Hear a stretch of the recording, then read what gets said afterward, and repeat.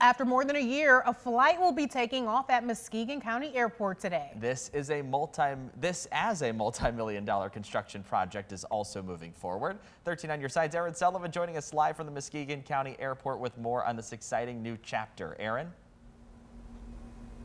Good morning, you guys. Yeah, this is such an exciting day here at the Muskegon County Airport. And I'm here with Ken Efting, who is going to tell us all about the exciting flight that's going to kick off today at 5.30. Good morning, Ken. Yeah, good morning, Aaron. Thank you.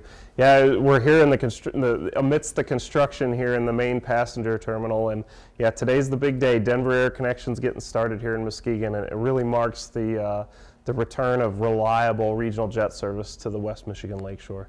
That's so awesome. And on top of the exciting stuff about the flights and Air, you also have some exciting things about construction, even what's going on behind us. So tell the viewers yeah. about that. Sure. This, this, is one we're really excited about right behind us. Uh, you know, as this project, the main uh, construction project wraps up, we're, we're, shifting our focus into renovating in, in the restaurant area.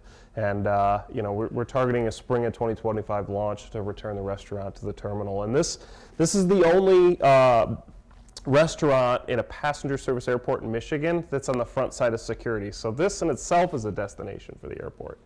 That's so awesome. And for everyone at home, if you got little ones that just love airplanes, I know my younger brother loved to watch the airplane. So if you don't even have to fly out here to come eat at this restaurant, right. you can just enjoy the view outside, which is awesome. Right. Yep. When you're seated for dinner here, you'll be able to watch the airplanes out on the runway, and, and we have free parking here at Muskegon. So there's no validation. You just pull in, park just like any other restaurant, come in and enjoy the view. I love the sound of that. Yeah. Well, we're going to have more about this exciting day airing for our later newscast, but we'll also have more updates for you on our website at 13onyourside.com. But for now, in Norton Shores, I'm Erin Sullivan, 13 on your side.